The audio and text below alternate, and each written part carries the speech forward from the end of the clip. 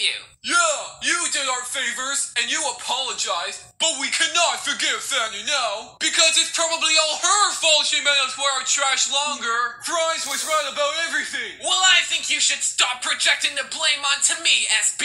I think you should stop telling us what to do. Get up! No! I this.